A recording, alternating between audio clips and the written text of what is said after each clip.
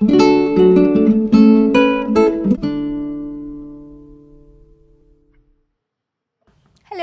welcome to Chemistry Travels.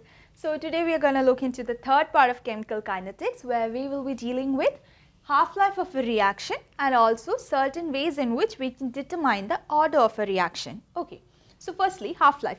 What is half-life? Half-life is the time that is required for a reaction to be half complete. That is, if I have a reactant A which gets converted to some product P, I can say that half-life is the time in which the reaction proceeds halfway through or if the initial concentration of the reactant at time t equal to 0 that is initially if the concentration of the reactant is some value A naught I can say that half-life is the time in which the concentration of the reactant becomes half of its initial concentration. That is at time t half, the concentration of the reactant is A naught by 2. It is half of the initial concentration. Okay. Now let's predict the half-life for zero order and first order reactions. So for this we have to use the integrated rate law which we saw in the previous video. And for a zero order reaction, we found that the integrated rate law can be written as rate constant K equal to initial concentration minus final concentration by the time. Right, that is A naught minus A by T. And we saw that at we need to find the T half, half life. And we saw that at half life, the concentration will reduce to A naught by 2. So, the final concentration will be A naught by 2. So, what we have to do is simply substitute A naught by 2 as the final concentration and find out the T half.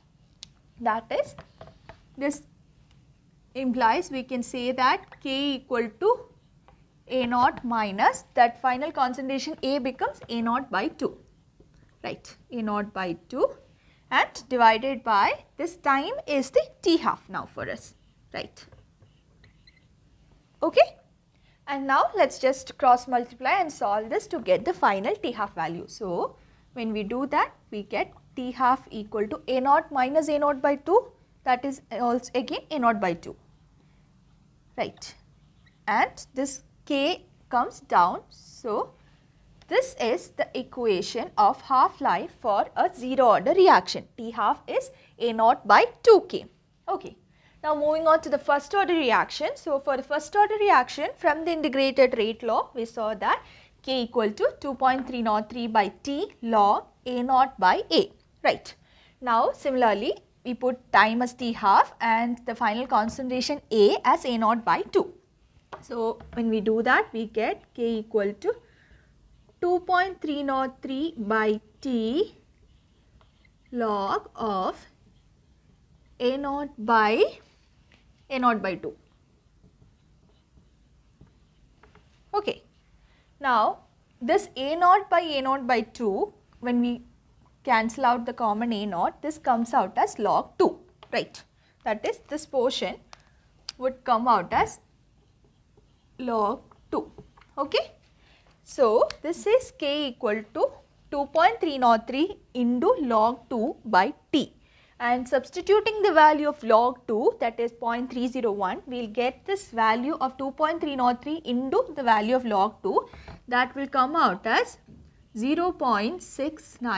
0.693 and this was the t half time was t half right and if I cross multiply I uh, like if I bring this t half to the top and take the k down I can say that my t half equal to 0.693 by k.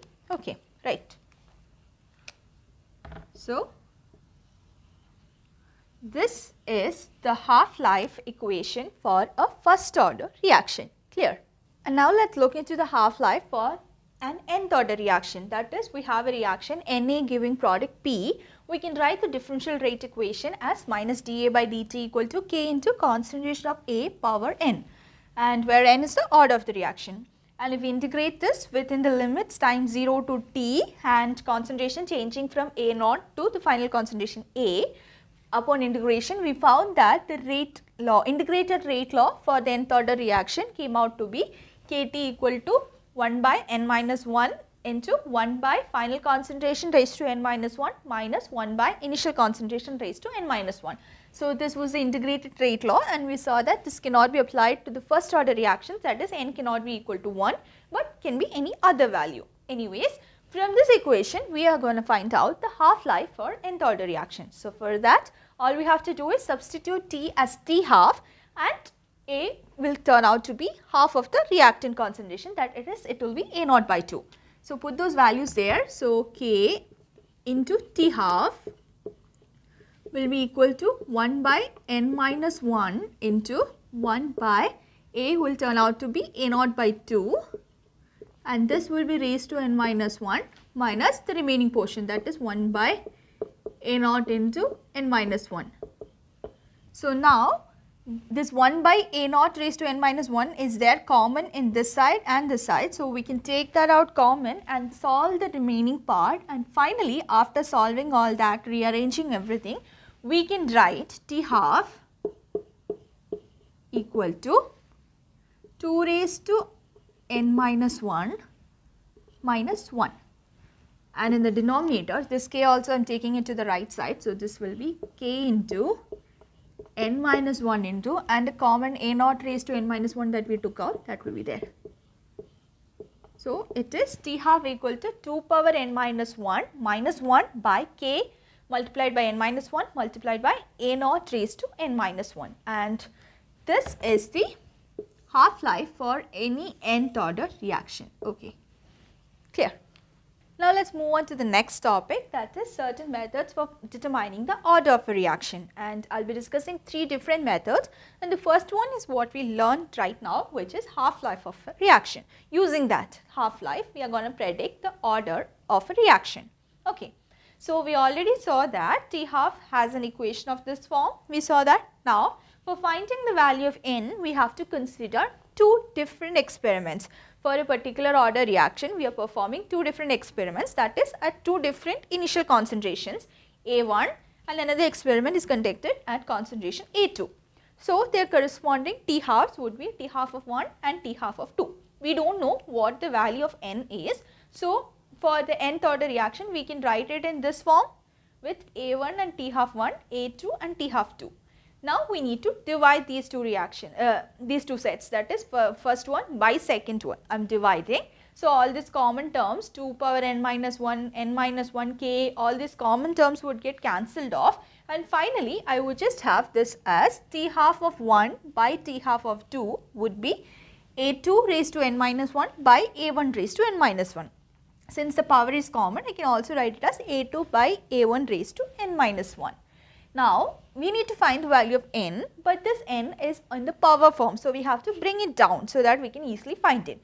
So, for that, we are just taking logarithm here, log on this side as well as that side. So, it is a natural log that I am considering that is ln. So, when I take log on this side, this comes out to be as ln of t half of 1 by t half of 2. Now that is equal to, I am going to take logarithm here also. So this comes out to be ln of a2 by a1 raised to n minus 1. Now, we saw that log of x power y, log of x power y can be written as y log x. We already saw that in our first video, right. So, here similarly this n minus 1 will come down. So, what can we write? I can say that ln of t half of 1 by t half of 2. Now, that is equal to n minus 1 into ln of a2 by a1. Okay. Or simplifying, I can write it as n minus 1 equal to ln of t half of 1 by t half of 2 and this ln part I am taking it down. So, this comes out to be divided by ln of a2 by a1. Okay. So, when we perform the experiment at two different initial concentrations, we get two different half-lives and from that we can find the value of the order n using this particular equation. This is the half-life method. Okay. The second method for determining the order of a reaction is using the differential rate equation that we saw in our part 1 video. That is rate equal to k into concentration of A power n. And using this equation, there are two different ways in which we can find the value of n. That is either we can plot a graph or we can conduct the experiment twice and similar to the half-life method, we can get two equations, divide them and get the value of n. Okay.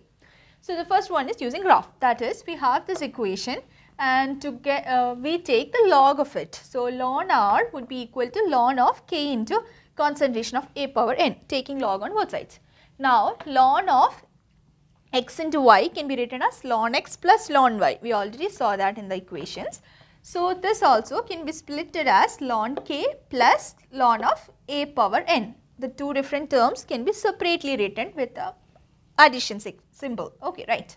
Now, here also again we can split it like ln of x power y was y ln x. So, this portion again I am going to simplify. So, finally ln of r becomes equal to n ln a plus this ln k. Now, this is of the form y equal to mx plus c. This equation is similar to the form y equal to mx plus c with y being ln r, x being ln a. So, if I plot a graph between x and y, I will be getting a straight line. This equation is the equation for a straight line graph, right.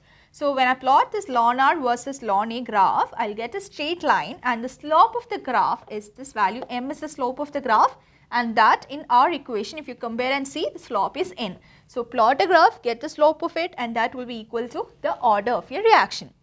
Now, the second method is by performing the experiment twice. That is, so when you perform it once, R1 will be equal to K into some concentration A1 power N and R2 will be K into concentration of A2 power N. Two different co initial concentrations we are taking, we are finding the rate. Now, we are dividing these two reactions. So, R1 by R2 will be A1 by A2 power N.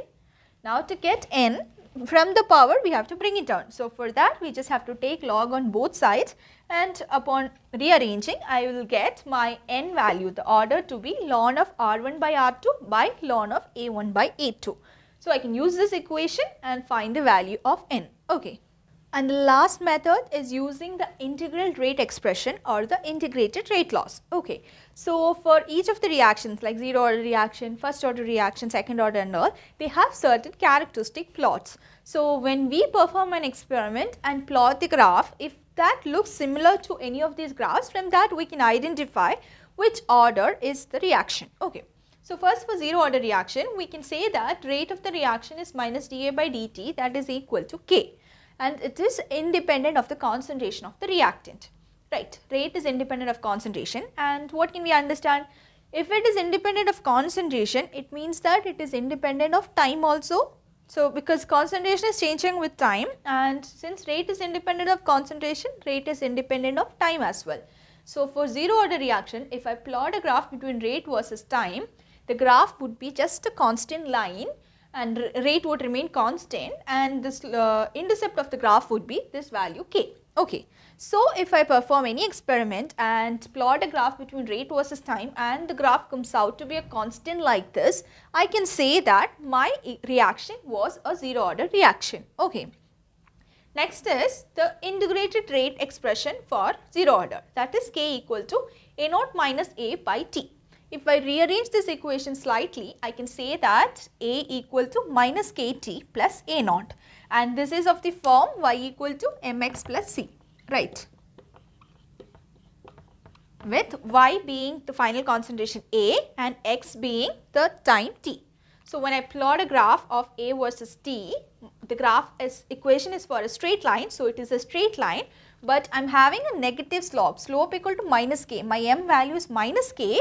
So, which means that my graph would be pointing downwards and that is why I have a graph, a straight line coming downwards. So, the slope of the graph is minus k and the intercept value is the initial concentration A naught. So, if when I perform experiment and plot graph between concentration A and time t, if I get a graph which is a straight line that is coming downwards, I can say that the order of the reaction is 0 order. Okay.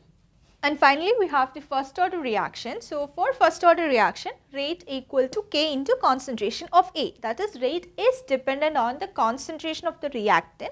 So, as concentration changes with time, rate also changes. So, we can say that rate is dependent on time as well. And if we plot a graph between rate versus time for first order reactions, it would be an exponentially decreasing graph like this using the same equation, if I plot a graph between rate and concentration, then it would be a straight line which starts from the origin with slope being equal to this k. So, these two graphs have come from this equation. Now, if I use the integrated rate expression for first order, in terms of ln, the equation was kt equal to ln of initial concentration by final concentration, ln A naught by A. Now, if I rearrange this because this ln of x by y is ln x minus ln y. So, similarly ln of a naught by a is ln a naught minus ln a. So, I can open this up and I can rearrange to get this particular equation where ln a equal to minus kt plus ln of a naught. Now, this is somewhat similar to what we saw for 0 order except that the concentrations have ln in their terms. Okay. Now, if I plot a graph between ln a and time, ln a versus t time, graph would be a straight line that is declining, uh, that is going down cause the slope is negative, slope equal to minus k and the intercept is ln of a naught. And also for first order we had another equation in terms of log where ln was replaced as 2.303 log. So this equation can be written as kt equal to 2.303 log of a naught by a now, if I plot a graph between log a naught by a versus time, the graph would be a straight line starting from the origin because there is no intercept and the slope of the graph would be k by 2.303. So, from if we get perform experiment and get any of these graphs, then we can say that the reaction that we performed was first order. Okay. So, this is the last method for determining the order of the reaction and with this we end today's video. I hope you understood this concept that was discussed today and thank you so much.